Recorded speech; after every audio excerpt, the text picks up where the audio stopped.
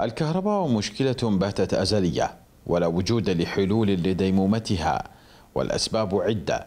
أبرزها تكرار تفجير خطوط النقل من قبل الإرهاب كما لا يخلو ملف الطاقة الكهربائية من الفساد فتراكم المشاكل يعقد من حلها. المشكلة مركبة. يجب أن تكون هناك آه، يعني آه، حلول حقيقية وليس حلول آه، عبر الروتين عبر الوزارة عبر الإدارة المحلية عبر القيمة المقامية الغاز.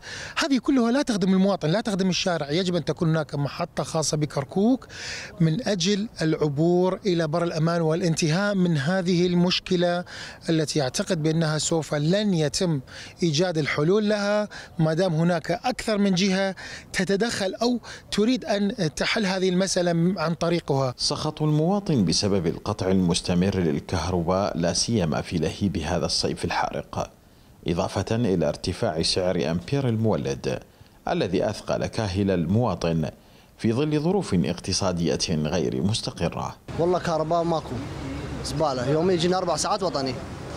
البقية مولدة وناس سعر الأمبير 18 ونص. 6 أمبيرات عندي أنا 100 و5000 دينار دافع. على هالسوق سوق ماكو من يعني إحنا رب الخير ورب الكهرباء كل شيء ماكو. وطني أربع ساعات يجي.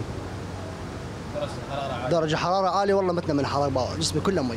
مدينة تطفو على بحر من النفط لكن واقعها لا يسر الناظرين.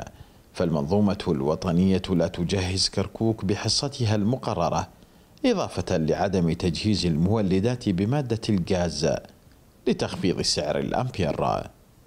لقناة التغيير سعدون السلطان كركوك.